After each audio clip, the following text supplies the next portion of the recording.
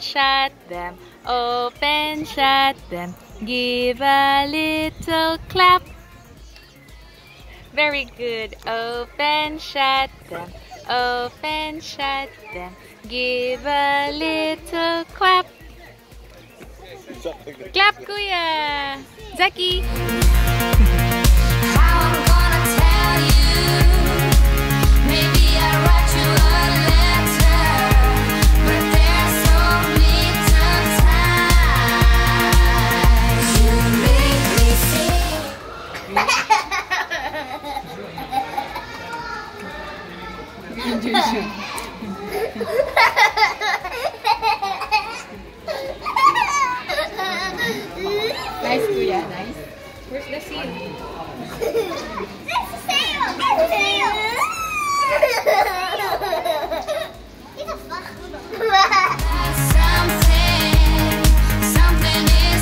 Cupcake!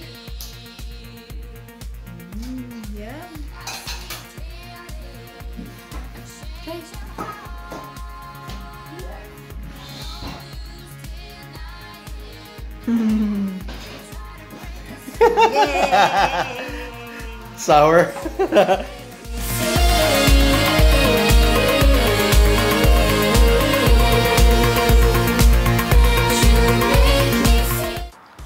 Hello and welcome to Let's Plant Recap. This is a show where I look at your comments from the past episode and react to it. As you know, I missed making the recap for the last episode because my son was sick and I had no time at all to film. So this might turn out to be a rather lengthy recap because I'll be looking at two episodes worth, but we'll see. I might cherry pick, especially those that are the comments that are similar. Wait, before we begin, I'd like to point out that I've got a shop, and if you're within Australia, within the non-restricted states, just head over to cerriscapades.com slash the plant shop with dashes, and you would see the stuff that I have for sale. On to the comments. So the first of the two videos was episode 89, which is how to propagate Echeveria from seeds. I actually uploaded this twice because the first time around uh, the video had some glitches in it. So I kept the original video but I had it unlisted so only those who have commented on it before would still be able to see it. The first one is from Jeff. I've been waiting a long time for this. I've grown quite a few types from seed, especially Mesem's, but not my own Echeverias yet. If you don't mind, one thing I'd mention is possible advantages of having the soil higher in the cells is it could provide more light if it's coming from an angle at all, but also better airflow. I can wait to see progress and learn more, especially pollination. Love all the propagated videos. Jeff. Hashtag free plants, hashtag I read an unexpected prequel memes. well, the thing is, this pretty much depends on your climate. Each climate would have its advantages and disadvantages. In my case, in my climate, I prefer uh, having the soil level not too high because I live in a temperate climate and it's not as humid as in the tropics, which means that I would have to water my uh, my seedling trays more often. So if I have the soil level quite high, then that means that uh, there's more evaporation to, to- that means that there's a higher chance of evaporation to happen because the sun would be able to hit it at an angle. And yeah, that's pretty much it for my case. But in other climates, it might make sense. So if it's more humid in your country, then higher might be better just to keep it from being excessively wet. But I don't know. I don't know. I don't know. Just try it and see what works for you. From Tere B. Could you do a video on how to get rid of bugs that kills the succulent plants? Apparently, some of my plants are dying due to these white bugs and I noticed white eggs around the root. Wow. Much thank you. Love all of your videos. Thank you and about that video, I might come out with a series on uh, troubleshooting with fungi, uh, excess watering, and even insects. But until then, I think the best advice that I can give you is that prevention is better than cure. So yeah, that's not so helpful. But what I usually do is to make sure that I remove all of the flower stalks because most, if not all, of the harmful bugs are there, are attracted to it when there are flowers, because there's nectar, there's sap. Others are just simply attracted to the plant mainly because of the foliage of the um, juicy stems.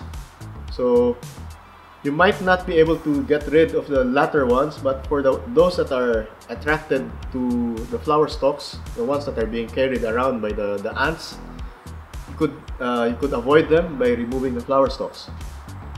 From Gwen Ott. Every great gardener ends the day with some dirt on the face. no worries about the glitch, love the step-by-step instruction and rationale for each step. Looking forward to seeing if your results pinpoint the best time to harvest naturally fertilized seeds. Great video, Chuck. Yeah, uh, I was really. I felt embarrassed when I saw the dirt on my face by the time I was editing a video. No, actually, I noticed. I only noticed it by the time I uploaded it. I guess it's par for the course. One cannot expect to play in dirt and not get dirt on their hands or on their face, in my case. From Crafty Fox. I look forward to watching the series. I've grown from seeds I've harvested from Echeverry in the past and I made a mistake of letting the soil dry out and then up losing a lot of them. So it looks like you're getting the same problem as me because my main, the main thing that prevents me from being successful with these is uh, excessive drying. So yeah, especially since I'm doing this in the middle of spring, which means that by the time the seedlings appear, it's pretty close to summer, if not summer already. So drying out is a real problem by then. I would need to create a more controlled environment for them, I guess. I would not like to keep them in the greenhouse, but maybe what I could do is just keep them in that greenhouse and open the little flaps that open at the top. That way, they won't be too damp inside and there would be no risk, or at least a reduced risk of fungal attacks. Now I'm switching over to the second upload of the same video. This is the corrected version. I've gotten uh, gotten several comments in here. First is first is from Lindsay Bringans. Hi Chuck, very interesting. I'll be looking forward to see what happens down the track. Your garden is amazing. I do not know how you do it with family, etc. Simple. I have a very supportive wife. if not for that, then I would I would not be able to sustain this pretty much. Next comment is from Always Growing Vlogs. Good to see you giving seed propagation another go. I don't think you mentioned it here, but you may want to document the temperatures at which you're able to achieve germination success. I know it's yet another variable to consider, but your soil temperature definitely comes into play when germinating any type of seed. Thanks for this tip, Frank, because I'm just, right now I'm just going by the ambient temp, because right now I'm just following your tip on the ambient temperature range that you gave me before, so yeah, this is something that I could uh, tweak down the line once I get this batch working. So yeah, we'll see.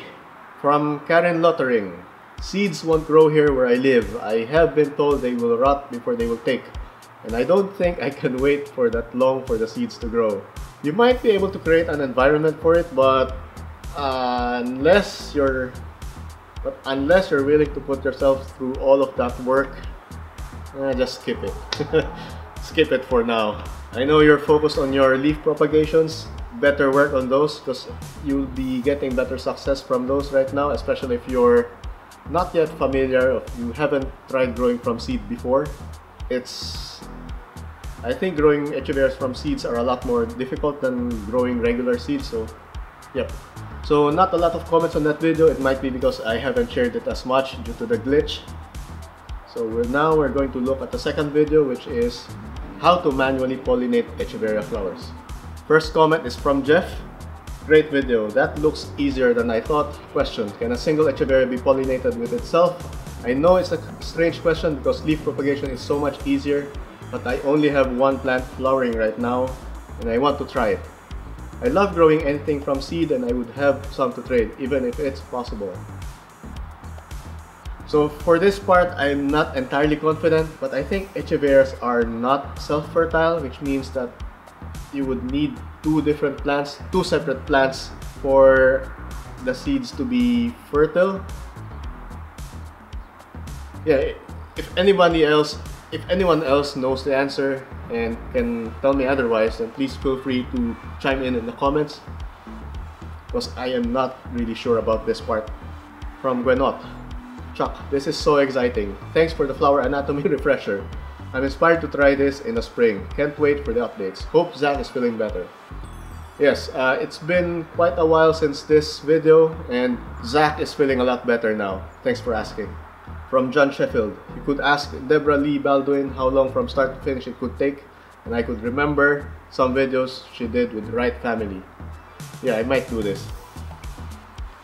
From Marie Angel Perez, very interesting video. Thanks for the clear explanation. I'll do the same. But the thing is, I'm not sure if the insects or bees have pollinated the flowers before I get the brush.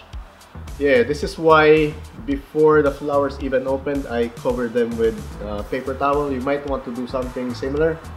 You know, just protect the flowers before anything else can get to them. Yeah. From Aneta S. So cool, Chuck. Can't wait the results. Mm. From Retro Ray. Funny stuff, Chuck. Great info. Glad you like it, Ray. From Monolop. Hahaha. I just literally bought a notebook for this just to write down what you told us. I'm going to use this notebook for succulents and plants. I just bought a grade 1 notebook though. Hahaha. as long as you can write, doesn't really matter. From Erica's Succulents, I just cross-pollinated my Romeo and Laui. Curious to see what happens. Ah. A champagne if successful. I'm not expecting much as I don't think I have enough experience in seed harvesting and growing from seed, but I'm hoping to follow along with what you're doing and hope to have better luck this year. Well, to that, all I could say is keep practicing because I had to do it several times before I got the hang of it, especially with my um, germination method because my first few attempts failed and they're mostly my fault. So yeah, keep trying. From Erica Olson, this video is awesome. I learned so much from it. Can't wait for, for the update. I might do an update soon because I've seen, uh, if you've been following my Facebook, I posted a photo of the germinated plants. I've, I've only counted about two sprouts, but that was uh, the early days. I'm not sure how many more sprouts it would be in the coming days. I'm hoping there's more come out, but oh, so far only just two. We'll see. From Zainizana66. Gosh, I can't see myself doing this. Too many details to attend to. I hope you have success with your matchmaking. yeah, I hope that's alright. From Lindsay Bringans. Hi Chuck, awesome stuff. Look forward to the new babies. Lindsay. Might be a while, but yeah, let's hope for success. From Karen Lottering. I removed the flowers because by the time I get to them, it's full of lice and ants. Sad, really. Yeah, I get. I usually get the same problem. So what I usually do is before I even think about pollinating them, I set them aside while the flowers are still closed. That way, it would not attract anything. You know, any uh, harmful uh, harmful insects. Yeah, that's what I did this time anyway. From Rose Gledhill, great video. Do you know how to stop ant invading pots? Such a pain. Any magic tricks out there? I only know of one technique, the technique that I'm using here, and that's to remove all of the flower stalks. Because the thing is, what ants do is they farm other insects, they farm aphids, mealybugs, and whatnot. They would carry these other insects into the flower stalks because they depend on them to create the nectar which they are after. So without flowers, no ants to get there. Yeah. You might also use some uh, commercial ant repellents there might be something in your hardware local hardware store. You might want to have a look. And that's it for the recap. I've gone through most of the comments in here. Some of these are uh, very similar to the others, so I have left them out. The next episode would be touching on leaf propagation. It's not a refresher of my existing leaf propagation video, but rather additional supporting information that would help you with your leaf propagation attempts. And here's a preview. Okay, so here is an example. We're looking at an Echeveria Golden Glow, this green thing right here. And as you can see, it has several flower stalks already growing. Some of them, well, none of them have opened yet. They're still closed. So these are still quite young. You'll notice that some of these flower stalks are not like the others. Take for instance this one. It has thicker stems, bigger leaves. These ones are more slender, narrower, The leaves are longer, narrower, smaller, I guess. The leaves are closer to the color of the peduncle. Thank you for watching and I'll see you in the next episode. Bye.